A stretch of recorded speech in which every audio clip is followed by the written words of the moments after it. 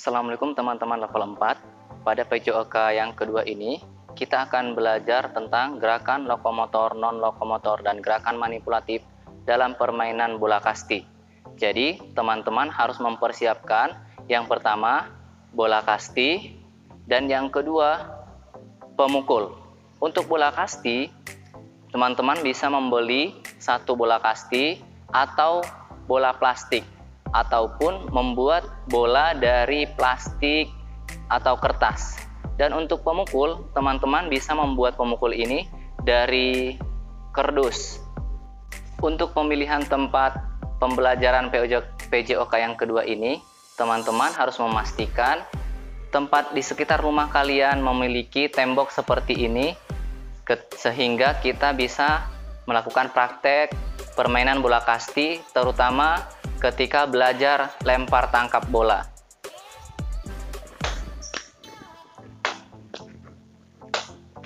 Jadi teman-teman pastikan ketika kalian mencari tempat untuk mengikuti pelajaran olahraga yang kedua, di sekitar tempat kalian ada tembok kosong untuk memantulkan bola.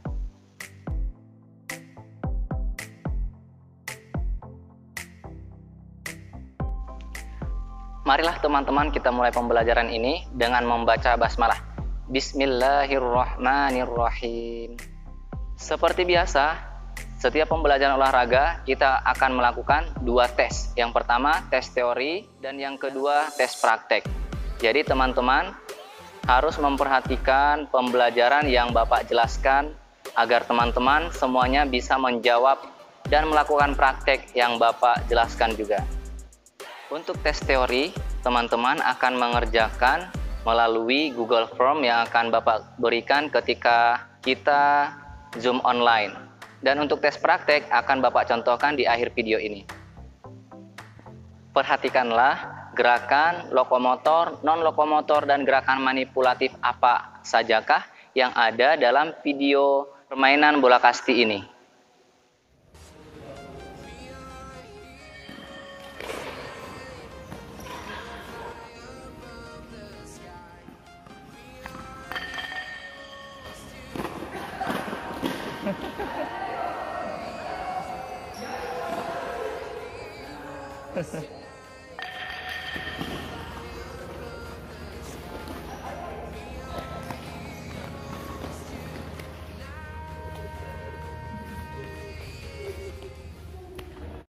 Yang pertama, variasi gerak dasar lokomotor dalam permainan bola kasti. Yang pertama, berjalan menuju base atau ruang hinggap.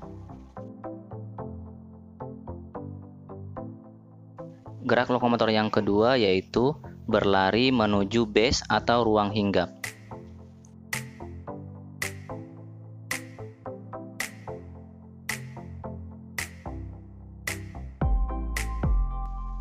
Gerak lokomotor yang ketiga yaitu lari zigzag atau menghindari bola lemparan penjaga.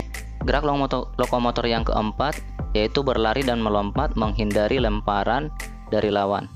Dua variasi gerak dasar non-lokomotor dalam permainan bola kasti. Yang pertama, gerak menekuk kaki dan tangan. Gerak non-lokomotor yang kedua yaitu memutar badan dan mengayunkan tangan.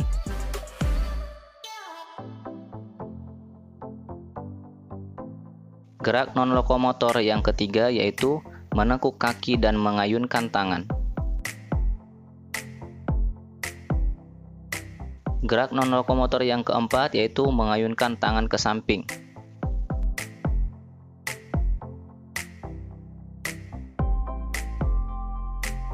Yang kelima, gerak non-lokomotor yaitu menekuk kaki. Yang ketiga, variasi gerak dasar manipulatif dalam permainan bola kasti.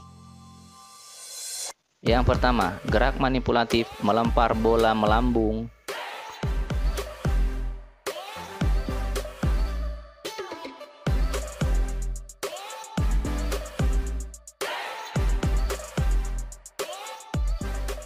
Bola mendatar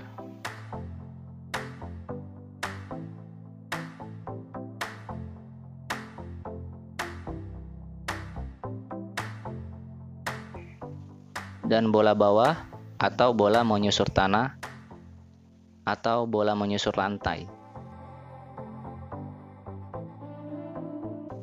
Gerak manipulatif yang kedua yaitu menangkap bola lambung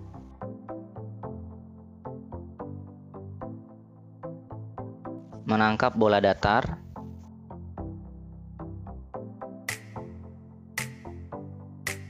Dan menangkap bola menyusur tanah atau bola gelinding.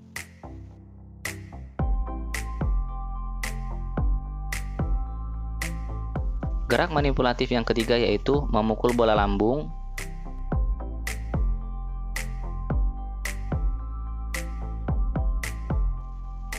Memukul bola datar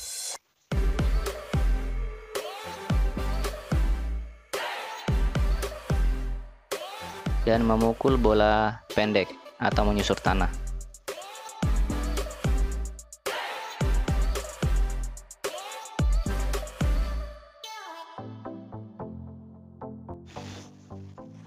Latihan yang pertama yang akan kita lakukan untuk permainan bola kasti adalah teknik lempar tangkap bola. Seperti yang Bapak sampaikan tadi, pastikan ada tembok ataupun tiang seperti ini. Pak Sadam akan memakai tiang seperti ini yang harus kalian lakukan di rumah kita lakukan selama 5 menit.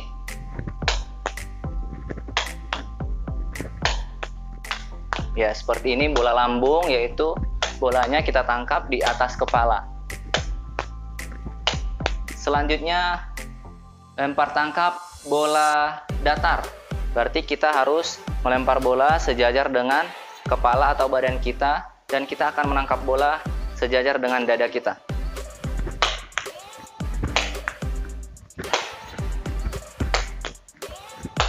Dan yang ketiga adalah lempar tangkap bola bawah. Jadi bolanya harus menyusur dari lantai. Kita lempar dan kita siap-siap untuk menangkap bola bawah.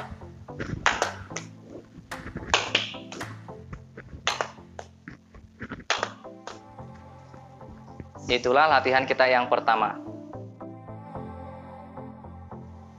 Untuk latihan yang kedua yaitu melempar dan memukul bola. Dilambungkan dengan tangan kiri kemudian dipukul dengan tangan kanan. Seperti ini teman-teman kita lakukan latihan ini selama 5 menit juga.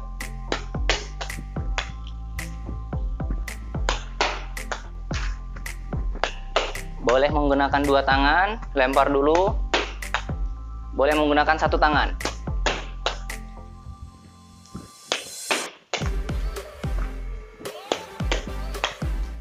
Kalian lambung bolanya setinggi kepala kemudian memukul bola ketika masih di atas kepala.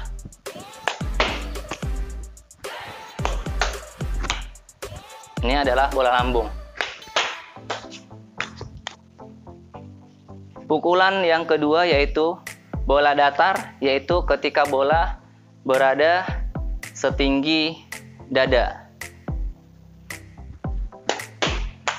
Pastikan dulu bolanya turun, kemudian dipukul. Yang ketiga adalah bola menyusur tanah atau bolanya sejajar dengan lutut. Teman-teman tidak perlu untuk melambungkan terlalu tinggi, cukup jatuhkan kemudian lakukan pukulan.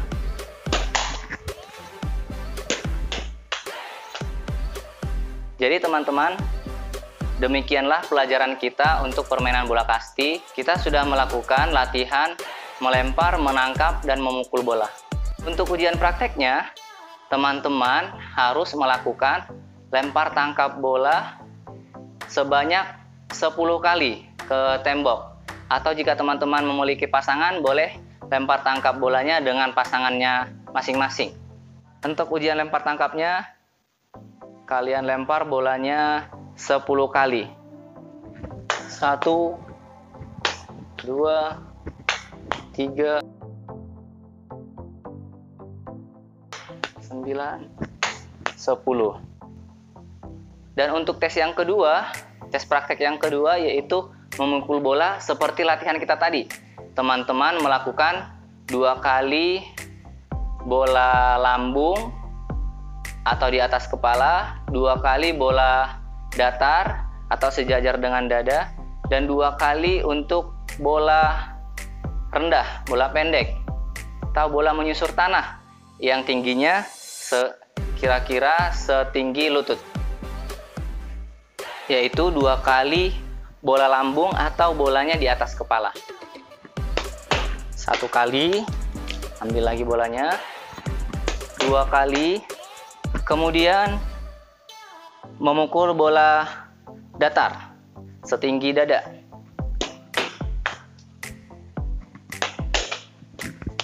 Boleh menggunakan satu tangan, boleh juga dua tangan. Yang ketiga adalah memukul bola pendek dua kali setinggi lutut.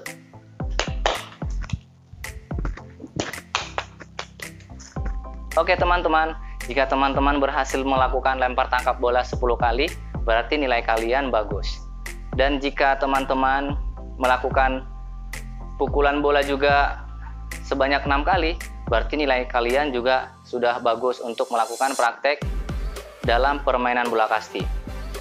Untuk mendapatkan hasil yang baik, Bapak harapkan teman-teman sudah melakukan latihan terlebih dahulu sebelum kita melakukan pembelajaran online ketika jadwal kalian untuk mengikuti pelajaran olahraga dengan Pak Sadam.